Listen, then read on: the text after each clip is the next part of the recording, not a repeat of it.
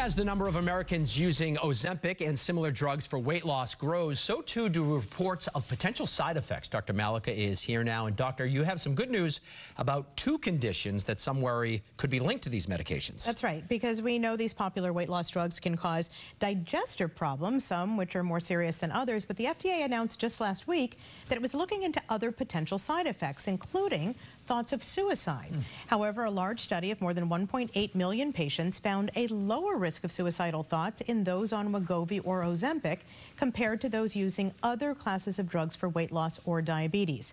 Also, a new study published in JAMA looking at more than half a million people with type 2 diabetes found that these drugs are not associated with an increased risk of pancreatic cancer mm. compared to insulin. Now, of course, the FDA will continue to monitor for other possible side effects, but it's nice to hear that there are some that are don't appear to be linked at this oh, point. that is some good news.